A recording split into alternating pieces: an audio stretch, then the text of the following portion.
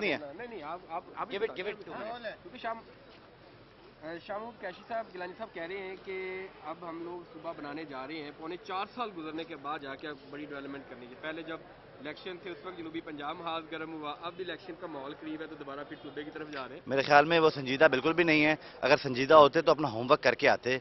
हमें already senate के अंदर सूबे का जो बिल है, वो ऑलरेडी पास हुआ हुआ है और वो नेशनल असेंबली में पड़ा हुआ है। फरतुल्ला बाबर साहब की कमेटी थी, उन्होंने बाकायदा सारे जमातों को के साथ कंसेंसस के साथ वो बिल पास करवाया और वो नेशनल असेंबली में पड़ा है। अगर वो चाहें तो उसी बिल को टेकअप करें। उस बिल पर सबका कंसेंसस ऑलरेडी हुआ हुआ है और वो बिल पास करा लें। उनको अगर ज़रूरत है दो तय अक्सरियत की तो पाकिस्तान पीपल्स पार्टी के जो चेयरमैन हैं, बिलावल भुट्टो साहब, उन्होंने भी अपने फ्लोर ऑफ़ द हाउस पे भी उन्होंने कहा हुआ है। मैंने भी पंजाब असेंबली में कहा था अपनी पहली स्पीच में कि पाकिस्तान पीपल्स पार्टी पीटीआई का साथ देगी। अनकंडीशनल सपोर्ट हम देने को तैयार हैं इस बिल के लिए, लेकिन गम जो पीटीआई की गवर्नमेंट है, मैं समझता हूँ वो सिर्फ़ गैलरी को प्ले कर रही है, वो संजीदा नहीं है सूबे के लिए।